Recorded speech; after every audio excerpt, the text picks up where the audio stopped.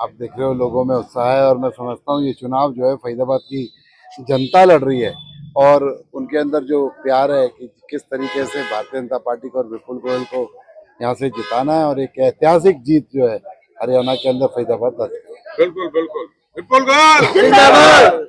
विपुल जी क्षेत्र की आप लोगों के बीच जा रहे हैं। क्या क्या मुख्य समस्याएँ लोगों के लोग आज यहाँ समस्याओं की बात नहीं कर रहे उन्हें पता है कि विपुल गोयल को जिता देंगे भारतीय जनता पार्टी की सरकार बनेगी समस्याओं के लिए कहना नहीं पड़ेगा उनका निदान हो जाएगा। पूरे प्रदेश की बात करें तो किस तरह का माहौल लग रहा है? पूरे प्रदेश के अंदर भारतीय जनता पार्टी की सरकार तीसरी बार पूर्ण बहुमत से बनने जा रही है और सब लोग नायब सैनी जी को पसंद कर रहे हैं नायब सैनी जी का नेतृत्व पसंद कर रहे हैं उनकी सादगी पसंद कर रहे हैं और अ, कहते ना आने वाले अक्टूबर के अंदर डबल इंजन की सरकार बनेगी। एक और नारा लग रहा है फरीदाबाद में आपकी बार एक लाख पार का नारा। देखो ये लोगों का प्यार है लोगों का नारा है लोगों की जो इच्छा होगी उसे पूरा करने का अच्छा मोदी जी की रैली का कल आगाज़ हो चुका है वो चालीस स्टार प्रचारक जो है यहाँ पर ड्यूटी लगाई गई है प्रदेश के अंदर उस रैली का असर कहाँ कहाँ तक पहुंचेगा देखिए मोदी जी की रैली हो चाहे का परसों अमित शाह जी की रैली है दोनों रैलियों का असर बहुत ज़बरदस्त जाएगा। लोग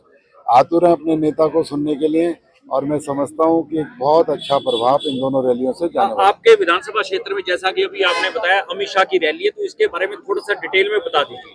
परसों शाम को सत्रह तारीख मंगलवार शाम को साढ़े चार बजे सेक्टर बारह के ग्राउंड में माननीय अमित शाह जी आएँगे, वो लोगों को संबोधित कर देंगे, करेंगे, उसके कार्यकर्ताओं का एक मीटिंग लेंगे और ये बहुत ही ऐतिहासिक और अच्छी रैली और एक कहते हैं ना, एक प्रभावशाली रैली फरीदाबाद के लिए। बीजेपी का बहुत अच्छा रुझान है, काम भी बहुत अच्छा कर रही है बीजेपी। विपुल गोयल जी तो वैसे ही बहुत अच्छे बहुत नाइस है। तो उधर की तरफ़ आपका मूड है? हाँ जी। ठीक। मैम क्या नाम? नेहा। क्या कहना चाहेंगे? चुनावी माहौल आ चुका है। सभी लोग आपके पास आएँगे। हमें लगता है कि रुझान जो है वो बीजेपी की तरफ़ ही रहेगा और चाहे बीजेपी रहे चाहे कांग्रेस रहे पर विपुल गोयल जी का कोई कंपैरिजन नहीं है। हम अपना वोट ठीक।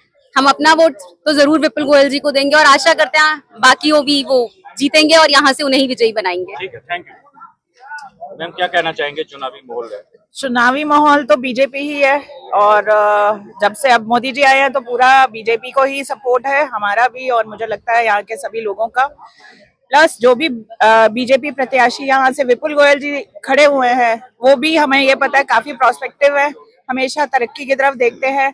मेन यहाँ पे साफ़ सफ़ाई का ख्याल रखवाना सेक्टर का या कुछ भी है, ये हमेशा बहुत पहले जब भी पहले वो रहे हैं तो बहुत अच्छा रहा है। तो हम चाहेंगे कि दोबारा वो आए और हमारे यहाँ पे तरक्की प्लस साफ़ सफ़ाई जो सबसे ज़्यादा ज़रूरी है जो बीजेपी का एक मेन मोटो भी है वो होना चाहिए।